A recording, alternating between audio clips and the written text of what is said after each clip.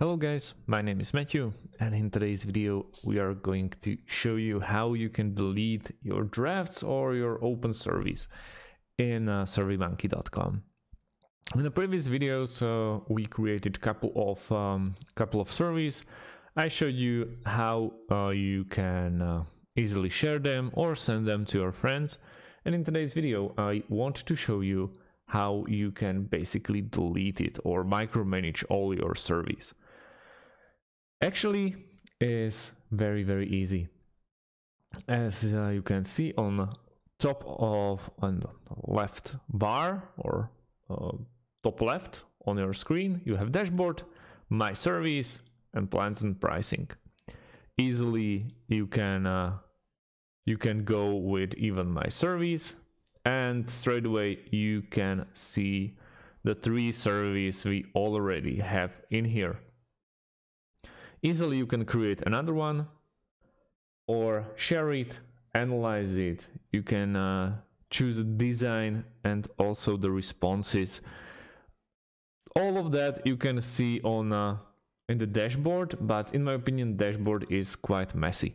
So I would like to orient in my surveys.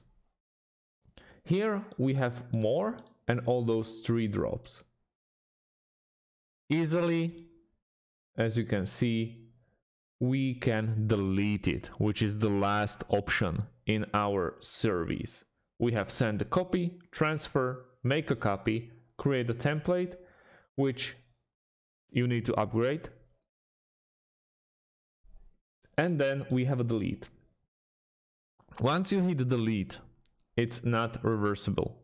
This can't be undone. You have name of the copy, responses, and also collectors. So you can easily see uh, what you are getting rid of. But you have it, uh, you can either cancel it or delete it. As you can see, copy of uh, tutorial survey has been deleted. You can easily do it in your dashboard because as you can see, uh, if you delete a survey in your My Surveys, it will disappear even in the dashboard naturally. So you don't have to do it twice. And also be careful. Easily you can even do it in uh, in dashboard where you can just click on option and uh, just press delete and it's very very easy as it is.